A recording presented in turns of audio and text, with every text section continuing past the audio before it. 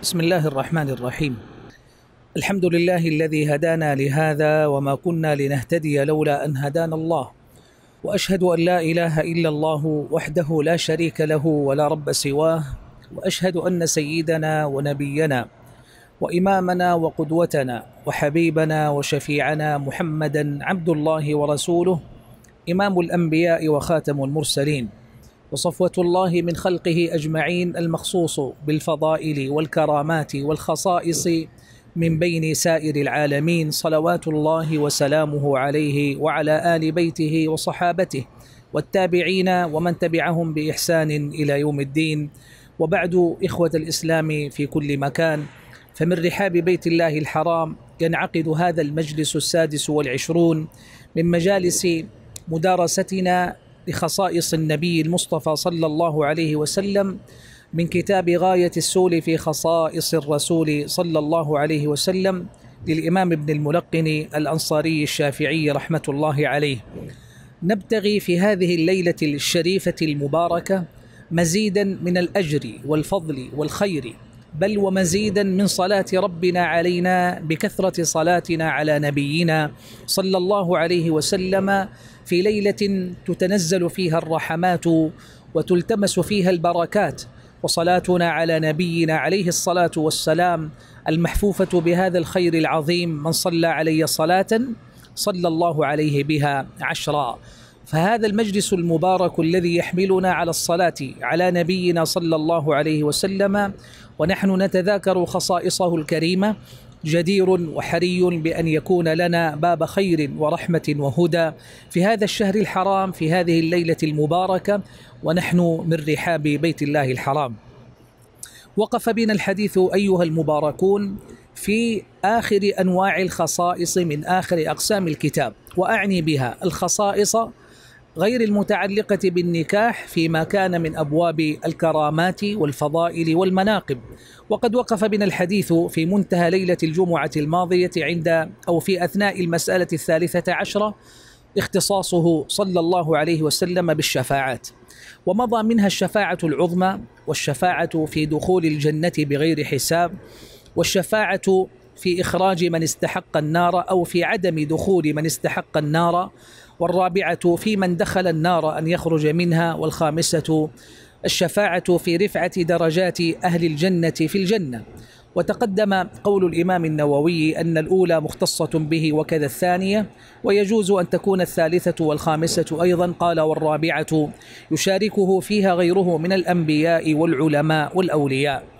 وتقدم استدراك بعض الشفاعات التي أتى بها المصنف رحمه الله تعقبا على الرافعي الذي خصها بتلك المواضع فزاد ما ذكره القاضي عياض إن شفاعته لإخراج من كان في قلبه مثقال حبة من إيمان وشفاعة تعقب بها النووي أيضا رحم الله الجميع في شفاعته صلى الله عليه وسلم لعمه أبي طالب في تخفيف عذاب النار عنه وهي لا شك من خصائصه صلى الله عليه وسلم.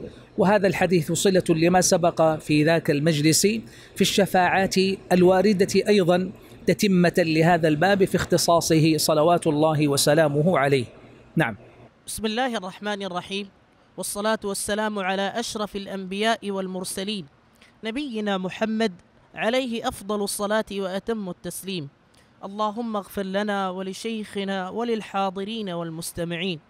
قال المصنف رحمه الله تعالى والسابعة وهي الشفاعة لمن مات بالمدينة. لما روى الترمذي وصححه عن ابن عمر أن النبي صلى الله عليه وسلم قال من استطاع أن يموت بالمدينة فليمت بها فإني أشفع لمن مات بها. نبه على هذه والتي قبلها القاضي عياض في الإكمال. نبه على هذه يعني هذه الشفاعة والتي قبلها المقصود بها تخفيف عذاب النار على عمه أبي طالب. نعم. وفي صحيح مسلم من حديث سعد بن أبي وقاص رفعه لا يثبت أحد على لأوائها وجهدها إلا كنت له شفيعا أو شهيدا يوم القيامة. فهذه شفاعة أخرى خاصة بأهل المدينة. وكذلك الشهادة زائدة على شهادته للأم وكذلك الشهادة زائدة على شهادته للأمة.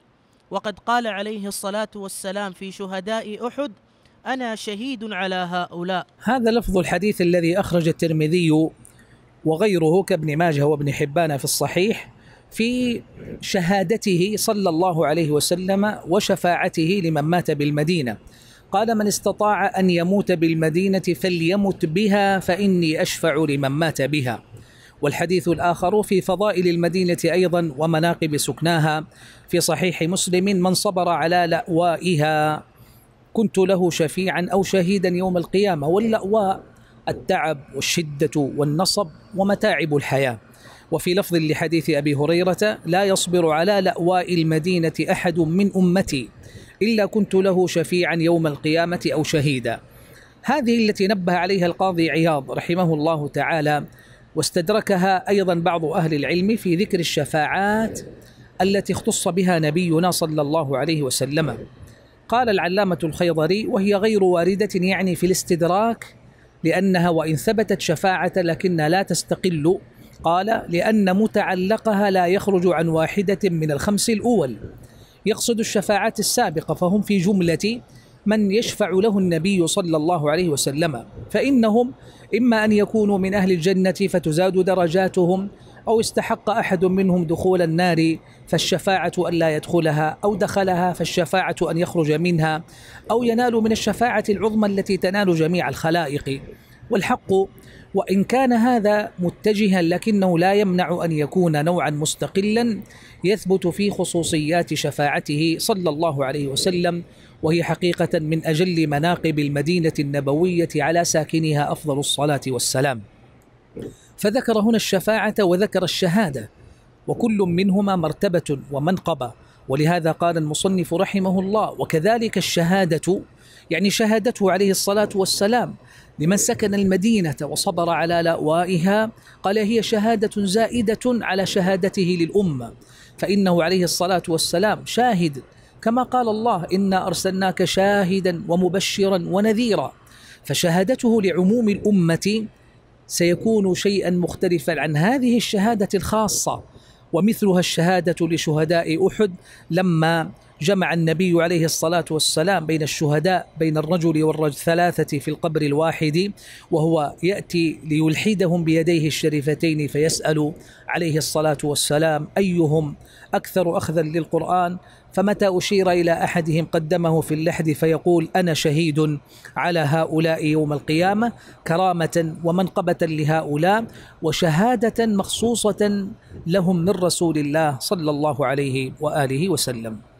وفي العروة الوثقى للقزويني أن من شفاعاته شفاعته لجميعة لجماعة من صلحاء المؤمنين فيتجاوز عنهم في تقصيرهم في الطاعات وأطلق الرافعي أن من خصائصه شفاعته في أهل الكبائر.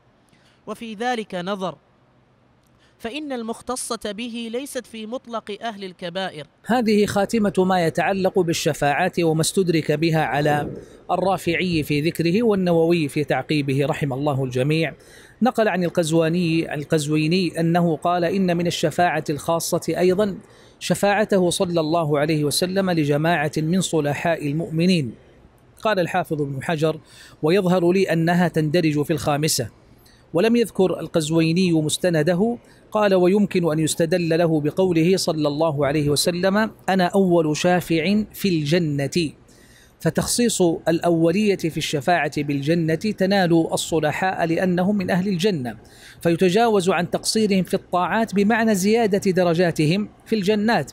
وأما ما ذكره الرافعي في تخصيص الشفاعة بأهل الكبائر فقد تقدم أنها مطلقة ولا تختص بهم وكل من كان في قلبه مثقال ذرة من إيمان فهو أهل لنيل شفاعة النبي المصطفى صلى الله عليه وسلم.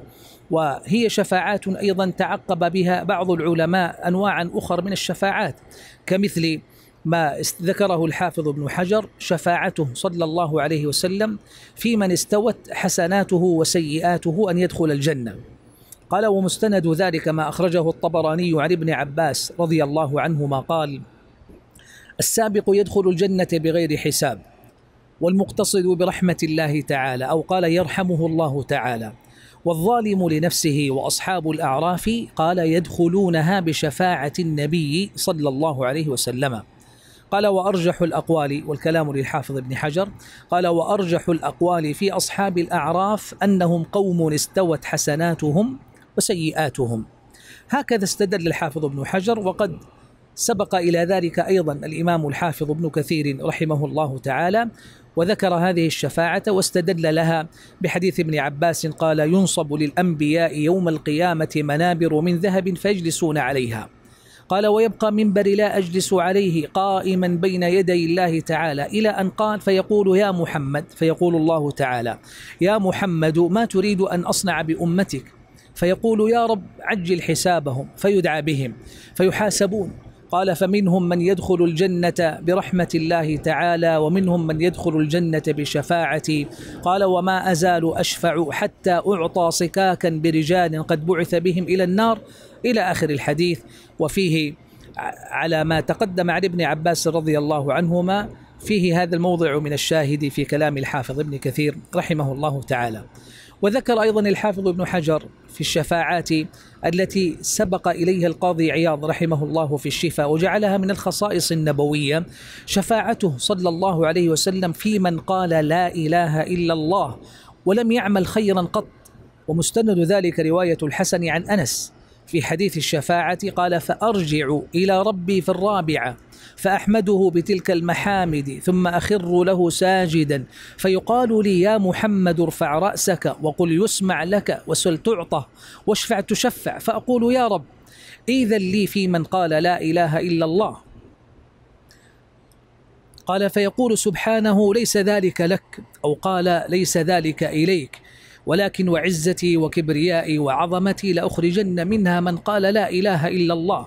وذكر الحديث واقتصر على توحيد الله ولم يذكر رسالة للنبي صلى الله عليه وسلم إما لأنهما لما تلازما في النطق غالبا وشرطا كما يقول الإمام القرطبي اكتفي بذكر الأولى أو لأن الكلام في ذلك الموقف في حق جميع المؤمنين من هذه الأمة ومن غيرها فتكون الوحدانية لله هي الضابط الذي يثبت به ثبوت مثل هذه الشفاعة. وهذا كله مما يذكر أيها المباركون في هذه الأنواع من الشفاعات على تعددها.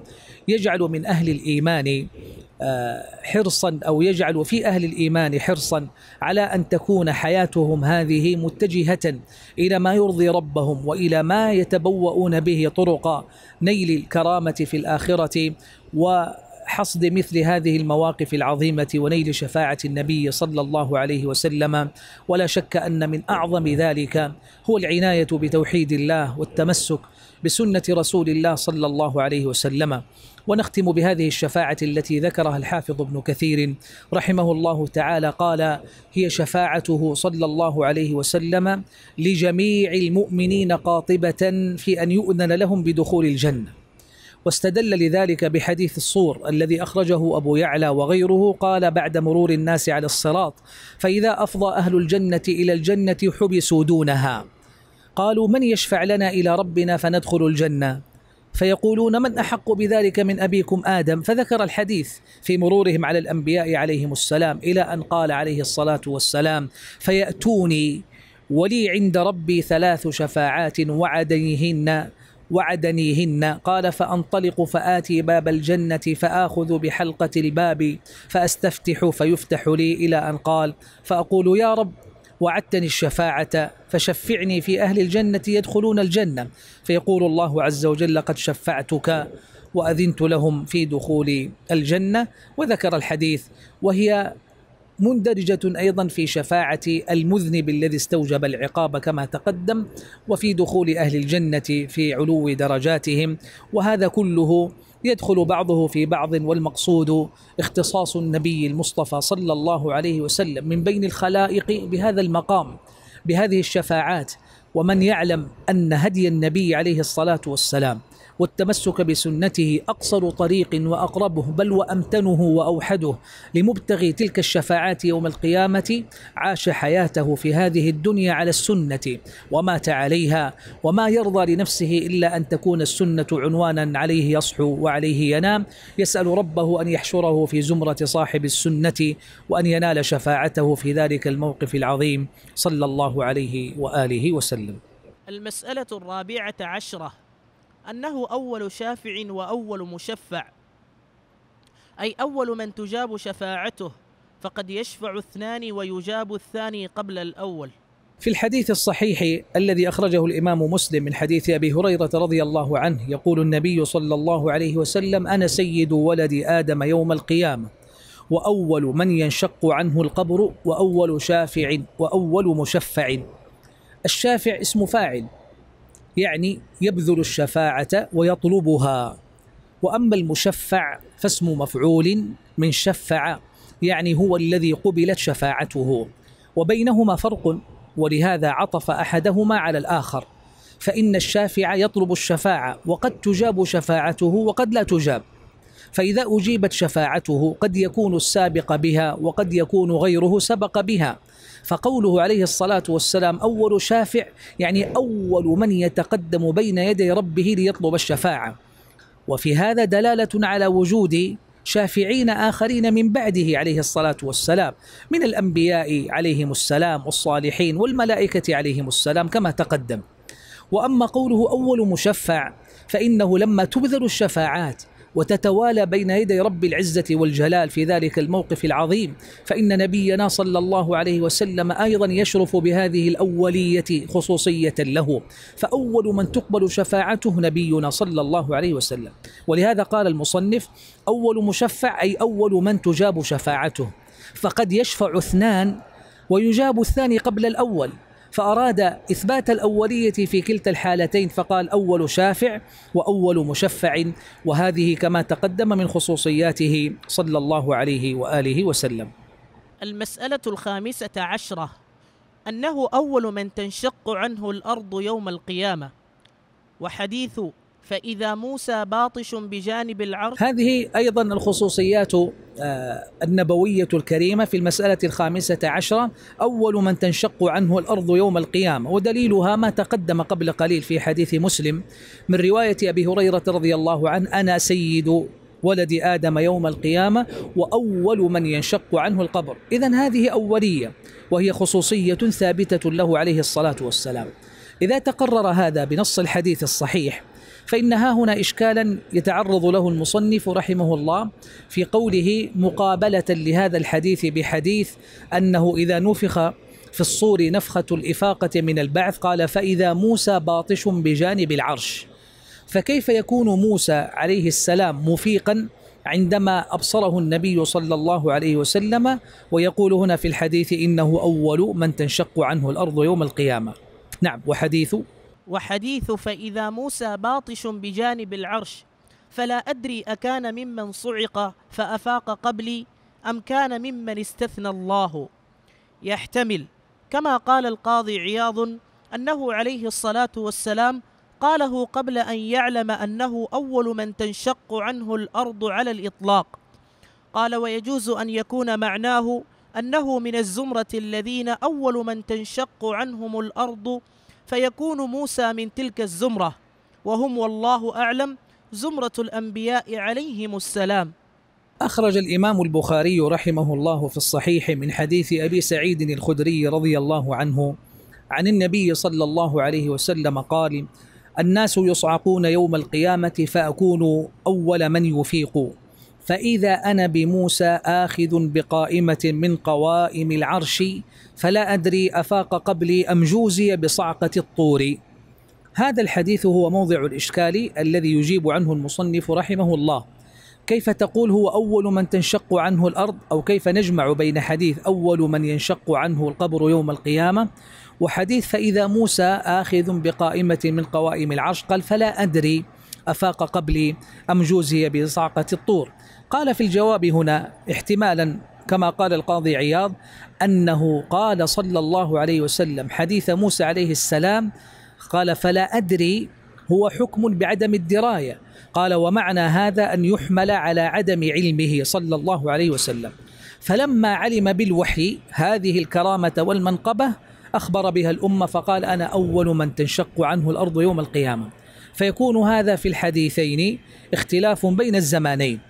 ومعنى آخر أو وجه آخر قال يجوز أن يكون معناه أنه من الزمرة الذين تنشق عنهم الأرض أولا يوم القيامة. بمعنى أن يكون قوله أنا أول من تنشق عنه الأرض أي أنا في عدادي أو في زمرة أول من تنشق عنهم الأرض والمراد بهم جملة الأنبياء عليهم السلام. ومنهم موسى عليه السلام فلا تعارض بين الحديثين. وهذا جواب ذكره غير واحد من أهل العلم للجمع بين الحديثين المذكورين والله أعلم. المسألة السادسة عشرة أنه أول من يقرع باب الجنة.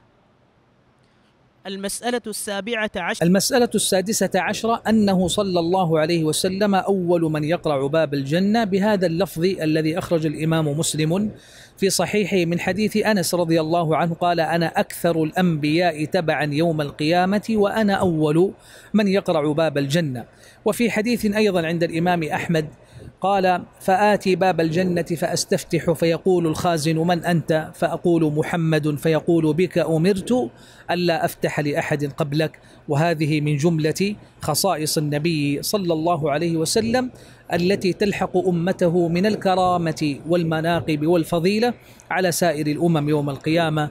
فالحمد لله الذي جعلنا في أمة الإسلام. المسألة السابعة عشرة. أنه سيد ولد آدم يوم القيامة. كذا عبر به الرافعي. وهو لفظ رواية مسلم من حديث أبي هريرة رضي الله عنه. وفي رواية له وللبخاري أنا سيد الناس يوم القيامة. عزاها إليهما البيهقي في دلائل النبوة. ثم رواه من حديث أنس رضي الله عنه أيضا باللفظ المذكور بزيادة ولا فخر.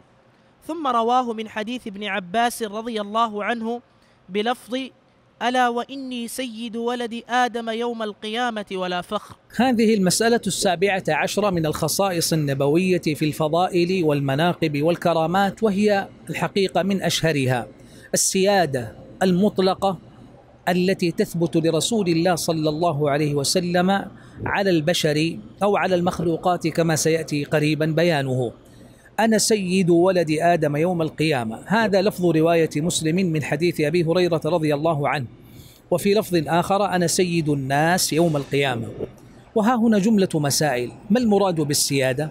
المراد بالسيادة أيها الكرام السيد هو الذي يفوق قومه في الخير الذي يفزع إليه في النوائب والشدائد الذي يقوم بأمر قومه وقبيلته ويتحمل عنهم المكاره ويدفع عنهم ما يسوءهم. هكذا ذكر الإمام النووي رحمه الله في شرح الحديث في صحيح مسلم في معنى السيادة. أنا سيد ولد آدم. هذه السيادة ليست فخرا مزعوما بل منقبة كريمة منصوصة. هذا قوله عليه الصلاة والسلام أنا سيد ولد آدم. هذه السيادة المذكورة هنا تتجه إليها جملة من الأسئلة تتعلق بها مسائل لطيفة. منها هل يختص هذا بيوم القيامة؟ لقوله أنا سيد ولد آدم يوم القيامة. قال المصنف هكذا عبر به الرافعي وهو لفظ رواية الإمام مسلم فقيدها بلفظ الحديث. وفي لفظ آخر أنا سيد ولد آدم فسيد ولد آدم أو سيد الناس يوم القيامة أيضا فيهما دلالة لطيفة. في زيادة عند البيهقي قد ذكرها من حديث أنس قال بزيادة ولا فخرا من حديث ابن عباس أيضا أنا سيد ولد آدم يوم القيامة ولا فخرا. فها هنا جملة من المسائل المتعلقة بهذه السيادة وبلفظ الحديث المذكور يأتي عليها المصنف رحمه الله تعالى واحدة تلو الأخرى. وهو سيد ولد آدم مطلق مطلقا كما عبر به النووي في الروضة والسيد الذي يفوق قومه وإنما خص يوم القيامة بذلك لظهور ذلك اليوم لكل أحد من غير منازعة. كما في قوله تعالى لمن الملك اليوم؟ هذه أولى المسائل. هل السيادة للنبي عليه الصلاة والسلام مختصة بيوم القيامة؟ أم هي في الدنيا وفي الآخرة؟ هذا سؤال. والذي يحمل على السؤال أن لفظه في الحديث أنا سيد الناس يوم القيامة. وفي لفظ أيضا أنا سيد ولد آدم يوم القيامة. هذا اللفظ بتقييد يوم القيامة يحمل على هذا السؤال. فالجواب من وجوه. أولها أن لفظ رواية أبي داود في السنن أنا سيد الناس ولم يقيده بيوم القيامة. ولهذا حذف الإمام النووي ذكر يوم القيامة في ذكر هذه الخصائص في كتاب الروضة. فقال وهو سيد ولد آدم يعني مطلقا في الدنيا والآخرة. على الرواية الأولى حيث ورد التنصيص قال على أنه سيدهم في الآخرة كما كان سيدهم في الدنيا. من باب أولى لأن مقام الآخرة أشرف. وهذا الجواب الذي ذكره المصنف هنا. قال خص يوم القيامة بذلك لظهور ذلك اليوم لكل أحد من غير منازعة كما في قوله تعالى لمن الملك اليوم. مع أن الملك لله سبحانه قبل ذلك اليوم فلما خص قال لأنه كان في الدنيا من يدعي الملك أو من يضاف إليه الملك مجازا في الدنيا فانقطع كل ذلك في الآخرة. فهذا المعنى هو المتحقق السيادة على البشر لنبينا صلى الله عليه وسلم تتمحض خالصة يوم القيامة فلهذا خص بها. ولكن في الدنيا ربما يظهر السؤدد في المقام لكل أحد من غير منازعه في يوم القيامة يظهر سؤدده عليه الصلاة والسلام من غير منازعه بخلاف الدنيا فقد نازعه فيها الملوك والكفار وزعماء المشركين. تماما كما قيل في قوله تعالى لمن الملك اليوم اذا هذه السيادة في الدنيا والآخرة وخص يوم القيامة هذا المعنى الذي مر بكم قبل قليل. والأمر الآخر أن قوله أنا سيد الناس في رواية أبي داود لم تكن مقيدة أيضا في رواية ما آه، بهذا القيد فحمل فيها المطلق على المقيد وأفادت لفظة الإطلاق المعنى الذي ذكر هنا وأن القيد ليس تقييدا بل هو قيد لا مفهوم له حتى لا يقال إنها سيادة مخصوصة بموضع تقتضي خروج موضع الدنيا. ولك أن تقول إذا ثبتت سيادته يوم القيامة في هذا المقام العظيم فإن ثبوتها في الدنيا من باب أولى. لأنه إن كان سيدهم يوم القيامة في الآخرة وهي مقام أفضل وأشرف وأعظم من الدنيا فثبوت سيادته في الدنيا من باب أولى. نعم. وإنما أخبر عليه الصلاة والسلام بذلك لأمرين. هذه مسألة ثانية متعلقة بمسألة السيادة. هي جواب عن سؤال. لما أخبر النبي عليه الصلاة والسلام بذلك عن نفسه لما قال أنا سيد الناس أنا سيد ولد آدم. وتعظيم النفس منهي عنه في الجواب. وتعظيم النفس منهي عنه في الشريعة فما الجواب؟ لماذا أخبر عليه الصلاة والسلام عن نفسه بهذا المقام العظيم؟ نعم قال وإنما قال وإنما أخبر عليه الصلاة والسلام بذلك لأمرين. أحدهما امتثالا لقوله تعالى وأما بنعمة ربك فحدث.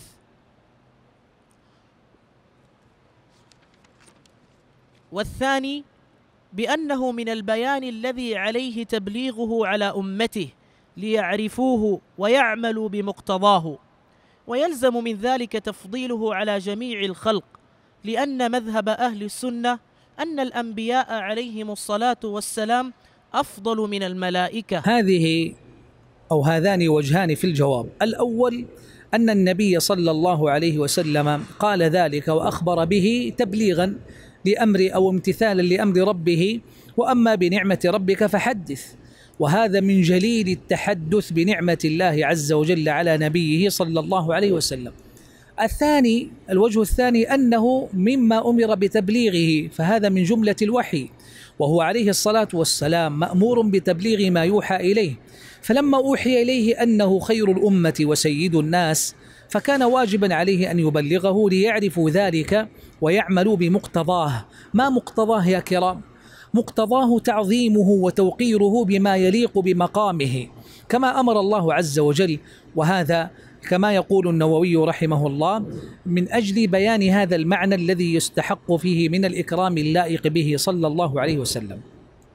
وقال غيرهم ربما كان الجواب لأنه قال ذلك بحضرة جماعة من المنافقين ليغيظهم بذلك كما ذكره الزمخشري في الفائق وعلى كل فالمقصود إذن أن هذا الإخبار له وجه بل أكثر من وجه يقتضي فهم إدراك معنى إخباره صلى الله عليه وسلم بأنه أفضل الأنبياء أفضل البشر وسيدهم.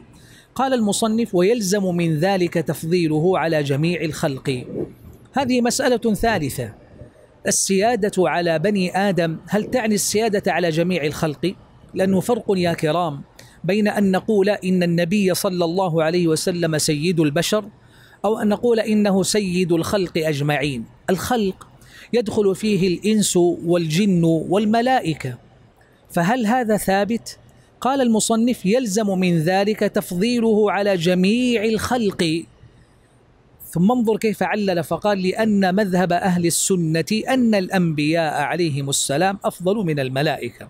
وهذا مما تنوزع فيه بين أهل العلم في تفضيل الملائكة على بني آدم وهذا إن ثبت تفضيل البشر يستلزم تفضيل النبي عليه الصلاة والسلام على الجملة لأنه إن كان سيد البشر وثبت تفضيل البشر على الملائكة كان سيد الخلق أجمعين. قال الإمام النووي في شرح مسلم لأن الصحيح أن الآدميين أفضل من الملائكة وهو صلى الله عليه وسلم أفضل الآدميين بهذا الحديث. وهذا كما قلت فيه بيان لمعنى السيادة هنا وكيف تكون مجموعة بينه وبين ما ذكر من باقي الخلق صلى الله عليه وآله وسلم. ولطيفة أخرى تتصل بهذه المسألة لما قال إنه سيد ولد آدم. فهل يخرج آدم؟ ويقال إنه أفضل من جميع الخلق إلا آدم لأنه قال إنه سيد ولد آدم وآدم ليس داخلا في المفضولين وهو قال أنا سيد ولد آدم. ولهذا فإن آه، ما نقله القرطبي آه، في التذكرة قال نقلا عن بعضهم قال إنه يتوقف في تفضيل النبي صلى الله عليه وسلم على آدم لأجل هذا الحديث والجواب أنه توقف لا معنى له. لصريح ما أخرج الإمام الترمذي وحسنه من حديث أبي سعيد الخدري رضي الله عنه قال قال صلى الله عليه وسلم ما من نبي يومئذ آدم فمن سواه إلا تحت لوائي. ونص الحديث دلالة على تفضيله صلى الله عليه وسلم وتقدمه. وإذا أضفت إلى هذا الرواية الأخرى عند البخاري أنا سيد الناس يوم القيامة دخل فيه آدم عليه السلام والتفضيل ها هنا محمول على المعنى الكبير الذي تقدم في جملة مناقبه وخصائصه صلى الله عليه وآله وسلم. وأما تفضيل البشر على الملائكة فقد تقدم أنها معنى خلافي كبير بين أهل العلم ويقال في تحقيقه إن معنى الأفضلية هنا أن الله تعالى يجعل للخلق من الإنس ثوابا على الطاعة ما لا يناله غيرهم.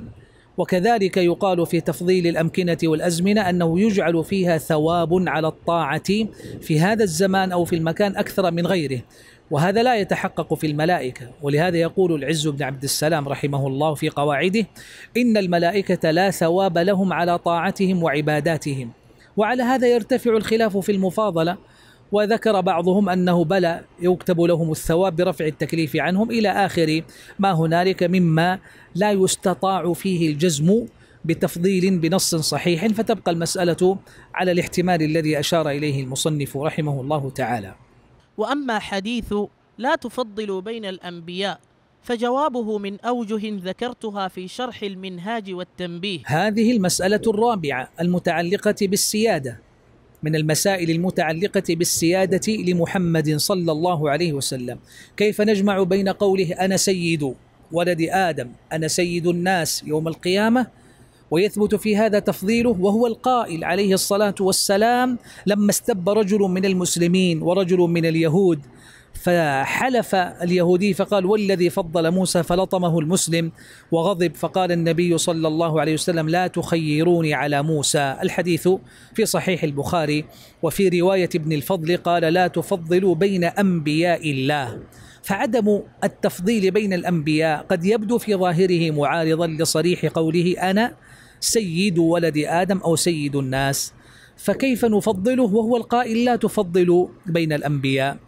هذا إشكال أورده وهي مسألة متعلقة بهذه الخصيصة من الخصائص في السيادة. نعم قال فجوابه فجوابه من أوجه ذكرتها في شرح المنهاج والتنبيه. واقتصر البيهقي في دلائل النبوة على أنه محمول على مجادلة أهل الكتاب في تفضيل نبينا على أنبيائهم لئلا يؤدي إلى الإزراء. ونقل ونقله عن الحليمي. ثم نقل عن الخطابي أيضا أن النهي عن ذلك خوف الإزراء. نعم هذا جواب. أن الوجه النهي هذا جمع يا إخوة باختلاف الوجه أو جمع بين الحديثين بالاختلاف في حمل كل منهما على محمل لا يخالف الآخر. قال هذا النهي محمول على المجادلة وإذا فهمت الجملة لا تفضل بين الأنبياء أو قال لا تفضلوني على موسى في سياق استباب المسلم مع اليهودي في القصة كما في صحيح البخاري. أدركت أن المعنى أن التفضيل إذا كان سيؤدي إلى منقصة في المفضول أو إزراء فلا يحل لأن الكل أنبياء عليهم السلام. فهذا وجه شرعي مفهوم تماما. وعندئذ فلا منافاة بينه وبين إثبات السيادة التي لا تستلزم انتقاصا من حق سائر الأنبياء عليهم وعلى نبينا أفضل الصلاة والسلام. قال لئلا يؤدي بهم إلى الإزراء. إذ الواجب يا كرام هو أن يحمل مقام الأنبياء جميعا على مقام الإجلال والتوقير وأنهم صفوة الله من الخلق. الله يصطفي من الملائكة رسلا ومن الناس. ولهذا يقول الحافظ ابن حجر قال العلماء إنما نهي عن ذلك من يقوله برأيه لا من يقوله بدليل. وهذا جواب ثاني أن النهي هنا عن التفضيل إن لم يستند إلى دليل. أو من يقوله يقول أو من يقوله يعني التفضيل بحيث يؤدي إلى تنقيص المفضول أو يؤدي إلى الخصومة والتنازع. وهذا وجه أيضا متفهم في سياق الحديث الذي جاء فيه النهي لا تفضلوني أو لا تخيروني على موسى. قال ونقل عن الخطابي أيضا أن النهي عن ذلك خوف الإزراء وأما من أدرك المفاضلة بين الأنبياء وأنه أمر قد ثبت شرعا بصريح قول الله جل جلاله تلك الرسل فضلنا بعضهم على بعض فإن هذا ثابت شرعا. وهنا ينبغي أن تفهم وجها لطيفا آخر. أيضا ذكره بعض أهل العلم أن قوله سبحانه وتعالى تلك الرسل فضلنا بعضهم على بعض صريح في إثبات التفضيل وهذا ينبغي اليقين به والانطلاق منه لفهم أصل المسألة. هذا المعنى في إثبات أصل التفضيل ليس في أصل النبوة بل في أصل النبوة هم سواء لأن النبوة ما هي؟ هي اصطفاء وهي وحي من الله وهذا القدر مشترك. فكل نبي كان تفضيله على سائر قومه بالنبوة التي هي اصطفاؤه ليكون رسول الله إلى قومه. فأصل النبوة لا تفضيل فيها وعليه يحمل النهي لأنه لا تفاضل فيها. إنما التفاضل بالخصائص وفضائل أخرى ولا بد من اعتقاد التفضيل لأن الله يقول تلك الرسل فضلنا بعضهم على بعض. فإن كان التفضيل هنا بلا دليل فهو منهي عنه. إن كان برأي مجرد وإن كان بدليل وفضيلة ثبتت فهذا الذي يجوز. ثم إن كان هذا التفضيل مفضيا إلى الإزراء والانتقاص من المفضول من سائر الأنبياء فهو أيضا محل نهي لأن الشريعة إنما جاءت بمقام التوقير لهم جميعا. فمجمل القول أن قوله عليه الصلاة والسلام لا تفضلوني أو لا تخيروني على موسى فإن من أجوبته أنه قال ذلك أدبا وتواضعا مع علمه بأفضليته صلى الله عليه وسلم. والثاني أن يقال إن النهي لئلا يؤدي إلى الإزراء بالمفضول والثالث أن يقال لئلا يؤدي إلى خصومة وفتنة كما في سياق الرجل المسلم مع اليهودي الذي استب معه في سبب الحديث الوارد والرابع والخامس ما تقدم من الوجوه في هذا السياق والعلم عند الله. قال الخطابي والجمع بين حديث أبي هريرة رضي الله عنه أنا سيد ولد آدم وحديث ابن عباس ما ينبغي لعبد أن يقول أنا. وفي رواية إني خير من يونس بن متى. ظاهر. هذه المسألة الخامسة من المسائل المتعلقة بالسيادة المحمدية. كيف تجمع بين قوله أنا سيد الناس أو سيد ولد آدم وبين قوله صلى الله عليه وسلم في الحديث الصحيح الذي أخرج البخاري في كتاب الأنبياء قوله ما ينبغي لعبد يقول أنا خير من يونس بن متى؟ أو ما ينبغي لعبد أن يقول إني خير في رواية إني خير من يونس بن متى؟ هذا صريح في أنه نهى عن تفضيله وتقديمه وتخييره على نبي الله يونس عليه السلام. قال فجوابه ظاهر نعم. لأن الأول إخبار عما أكرمه الله تعالى به من التفضيل والسؤدد. الأول يعني قوله أنا سيد ولد آدم أنا سيد الناس. هو محمول على إخباره كما تقدم بما فضله الله تعالى به. آه لأن الأول إخبار عما أكرمه الله تعالى به من التفضيل والسؤدد. والثاني مؤول بوجهين. الثاني يعني حديث لا ينبغي لعبد أن يقول أنا خير من يونس أو إني خير من يونس. قال مؤول بوجهين. أحدهما أن المراد بالعبد من سواه دون نفسه. هذا وجه يا إخوة أجاب به بعض أهل العلم. قوله ما ينبغي لعبد أن يقول أنا خير. من المقصود بأنا؟ كلنا. ما ينبغي لعبد ما ينبغي لي ولا لك ولا لأحد. أن يقول عن نفسه العبد أنا أنا خير. وهذا خطاب للمكلفين في الأمة. لئلا يقع في قلب أحد أن ما حكى القرآن عن شأن نبي الله يونس عليه السلام ألا يقع في قلب أحد إزراء يظن به لحظة أنه لصلاحه وتقواه يكون خير من نبي عوتب في كتاب الله.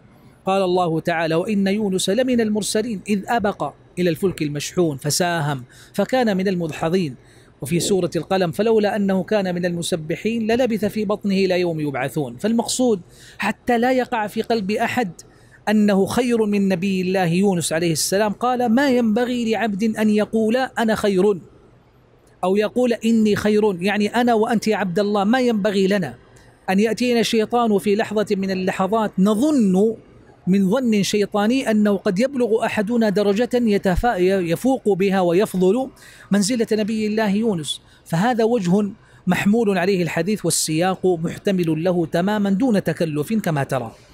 نعم.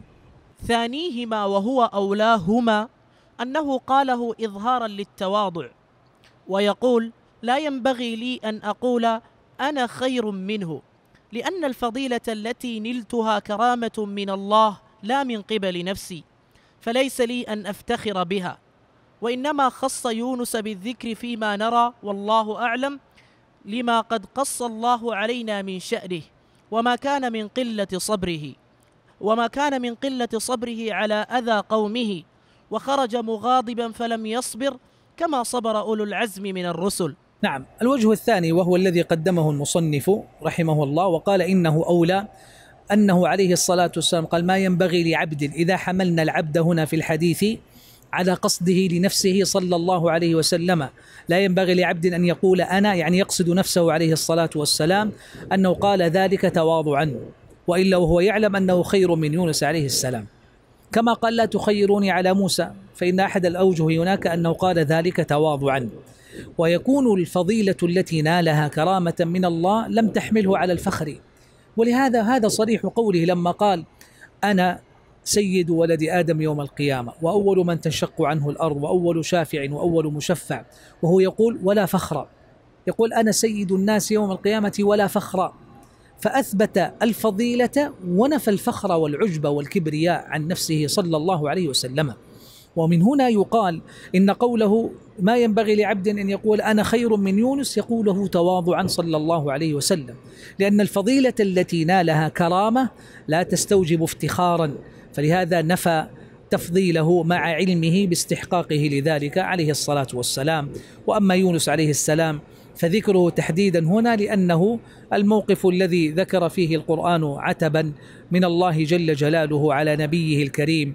يونس عليه السلام لما كان قد من شأنه في خروجه عن قومه وركوبه البحر وما حكى الله عنه في ذلك السياق مع ما كتب له من إجابة دعوته وإسلام قومه وفوزه بهم بدخولهم في الدين. فعليه سلام الله وعلى سائر النبيين والمرسلين. وقال الخطابي في موضع آخر وجه الجمع بينهما أن هذه السيادة في القيامة إذا قدم في الشفاعة على جميع الأنبياء وإنما منع أن يفضل على غيره منهم في الدنيا وإن كان مفضلا في الدارين من قبل الله. ومعنى لا فخر أي لا أقول هذا القول على سبيل الفخر الذي يدخله الكبر. وأما قوله عليه الصلاة والسلام لما قال له ذلك الرجل يا خير البرية قال ذاك إبراهيم عليه السلام. رواه مسلم من حديث أنس. هذه سادس المسائل المتفرعة عن مسألة إثبات السيادة لنبينا صلى الله عليه وسلم وهو تفضيله على نبي الله إبراهيم عليه السلام. وافهموا المقدمة السابقة أن عموم قوله أنا سيد ولد آدم أو سيد الناس عام. لم يستثنى فيه أحد فثبت فيه تفضيله على آدم وإبراهيم وموسى ويونس جميعا وباقي الأنبياء عليهم وعلى نبينا أفضل الصلاة والسلام. فقابل المصنف هذا العموم ببعض النصوص الخاصة لا تخيروني على موسى فأجاب عنه. ما ينبغي لعبد أن يقول أنا خير من يونس وأجاب عنه. هنا قال لما قال له الرجل والحديث ذكره الإمام مسلم في صحيحه لما قال الرجل يا خير البرية قال ذاك إبراهيم عليه السلام أيضا فها هنا سؤال هل هذا استثناء أنه خير من الجميع إلا إبراهيم عليه السلام أو ما الجواب؟ هنا أيضا أجاب المصنف رحمه الله بإجابتين. قال ففيه جوابان أحدهما أنه قاله تواضعا واحتراما لإبراهيم عليه السلام لخلته وأبوته. يعني قاله كما تقدم في شأن موسى ويونس عليهما السلام قاله تواضعا صلى الله عليه وسلم أي مع إثبات أفضليته. وهذا أيضا يقابله احترام وإجلال وتوقير من نبينا الكريم صلى الله عليه وسلم لأبيه وأبي الأنبياء إبراهيم عليه السلام خليل الله. وحبيب الله. فقاله احتراما قال لخلته وأبوته لخلته لربه فإبراهيم خليل الله. واتخذ الله إبراهيم خليلا. وأبوته يعني لنبينا صلى الله عليه وسلم. فإبراهيم خليل الله وأبو نبي الله محمد صلى الله عليه وسلم. فقال ذلك احتراما لهاتين المنقبتين الكريمتين لخليل الله إبراهيم عليه السلام. وذكره البيهقي بنحوه في دلائل النبوة. وثانيهما أنه قاله قبل أن يعلم أنه سيد ولد آدم. نعم هذا يقال أيضا احتمالا لأنه يذكر ما ذكر في الإجابات السابقة أن ذلك قاله قبل أن يعلم أو يوحى إليه بمكانته في السيادة والتفضيل لئلا يؤدي إلى تناقض الخبرين. قال ذلك في موقف ثم لما أعلم بتفضيله قال أنا سيد الناس صلى الله عليه وسلم. وجواب ثالث ذكره ابن العربي أن قوله ذاك إبراهيم يعني بعده. وضعفه ابن دحية في كتابه المستوفى في أسماء المصطفى. قال والصحيح الجواب الثاني. الثاني الذي حمله على التواضع كما تقدم. ذاك إبراهيم يعني بعده. يعني لما قال يا خير البرية قال ذاك إبراهيم يعني في تفضيل يجعل إبراهيم عليه السلام بعده. وبالتالي فلا تنافي بين الحديثين. قال وضعفه ابن دحية ورجح الجواب الثاني. نعم. فإن قلت هذا خبر لا يدخله خلف ولا نسخ. هذه آخر المسائل وختم بها المصنف هذه المسألة في السيادة. أن قوله أنا سيد الناس خبر. وينبغي في الأخبار ألا تعارض ولا تخالف وألا يدخلها نسخ كما تقرر في أحكام الأخبار. لا يدخلها خلف يعني لا يخالف خبر خبرا إثباتا لعصمة الوحي وعدم تناقضه ولا نسخ لأن الأخبار ليست تحمل أحكاما بل هي إفادات. ولا يدخل الأخبار الأخبار لا يدخلها النسخ لإثبات حكمة وإحكام الشريعة والوحي. فكيف تجعل هذه الأخبار يقابل بعضها بعضا؟ فتقول لا هذا متقدم وهذا متأخر. قاله قبل أن يعلم. فلما علم قال بالسيادة إذا هل ينسخ المتأخر المتقدم؟ إن قلت نعم قال لك لا الأخبار لا يدخلها النسخ. نعم. قال فالجواب؟ قال فال قال فالجواب من وجهين. أحدهما أن المراد خير البرية الموجودين في عصره. لما قال يا خير البرية قال ذاك إبراهيم يعني في عصره فلا تناقض اذا بين المقامين. وأطلق العبارة الموهمة للعموم لأنه أبلغ في التواضع. ثانيهما أنه إن كان خبرا فالنسخ يدخله. لأن التفضيل يمنحه الله لمن يشاء. أراد أن الأخبار وإن كان لا يدخلها النسخ لكن هذا الخبر يتضمن معنى يقبل النسخ وهو التفضيل والمفاضلة. فربما كانت الفضيلة في زمن مناطة بشخص أو محل ثم يختلف ذلك فيدخل النسخ في ذلك المعنى فيكون عندئذ من الأخبار التي يدخلها النسخ ولا إشكال.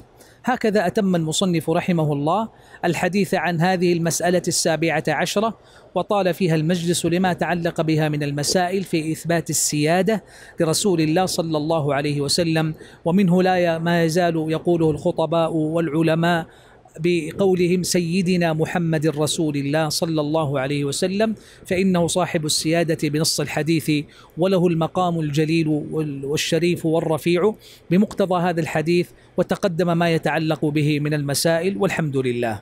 المسألة الثامنة عشرة أنه أكثر الأنبياء أتباعا. وهذا ثبت بجملة من النصوص منها ما أخرج البخاري قال عرضت علي الأمم فجعل النبي والنبيان يمرون معهم الرهط إلى أن قال وأنا أكثر الأنبياء تبعا وفي حديث أبي هريرة رضي الله عنه في الصحيحين قال ما من الأنبياء نبي إلا أعطي من الآيات ما مثله أؤمن أو آمن عليه البشر وإنما كان الذي أوتيته وحيا أوحاه الله إلي فأرجو أن أكون أكثرهم تابعا يوم القيامة وعند مسلم في صحيحه من حديث أنس رضي الله عنه قال: أنا أكثر الناس تبعا يوم القيامة وأول من يقرع باب الجنة. فهذه أحاديث صريحة في إثبات أكثرية أتباعه يوم القيامة عليه الصلاة والسلام وهذه من الكرامات والمناقب لهذه الأمة كرامة لنبيها صلى الله عليه وسلم. المسألة التاسعة عشرة صفوف أمته كصفوف الملائكة وقد تقدمت هذه الخصيصة في مجلس ليلة الجمعة الماضية وهي مسألة وقع فيها تكرار في كلام المصنف رحمه الله تعالى. نعم. المسألة العشرون. كان لا ينام قلبه وكذلك الأنبياء عليهم السلام كما أخرجه البخاري في حديث الإسراء. في حديث الإسراء في قصته وفيها طول أخرجها البخاري ومسلم وفي لفظ البخاري من حديث أنس رضي الله عنه قال: وكذلك الأنبياء تنام أعينهم ولا تنام قلوبهم. وهو حديث طويل في قصة الإسراء. والمقصود بقوله لا ينام قلبه أنه إذا حان نومه صلى الله عليه وسلم وغفت عيناه فإن النوم لا يصيب قلبه. قال أهل العلم وهذا لاتصاله بالوحي. وهذا المعنى مشترك بين الأنبياء الكرام عليهم السلام جميعا فهي خصوصية له على أمته صلى الله عليه وسلم ويشاركه فيها غيره من الأنبياء بنص الحديث الصحيح الذي سمعتم قبل قليل. لا ينام قلبه لاتصاله بالوحي ومن هنا أيضا كان الحكم الفقهي أنه كان ربما قام من نومه فصلى من غير وضوء عليه الصلاة والسلام. قال فإنه تنام عيناي ولا ينام قلبي صلى الله عليه وسلم. هذه تمام عشرين مسألة ويبقى مثلها أو قريب منها في تتمة هذه المسائل من الخصائص نأتي عليها تباعا في ليالي الجمع المقبلة بعون الله تعالى. وهي ليلة ما زال فيها متسع للاستكثار من الصلاة على نبي الهدى وسيد الورى صلى الله عليه وسلم. يا من يشفع بالصراط مجيرا يرجو لأمته الحساب يسيرا. يا سيد الثقلين يا خير الورى إنا بنهجك نحتذيه مسيرا. يا من تحبون الأمين محمدا صلوا عليه وسلموا تحبيرا. فيا رب صل وسلم وبارك عليه أعظم صلاة وأتمها وأزكاها وأهناها. وارزقنا إلهي بالصلاة والسلام عليه.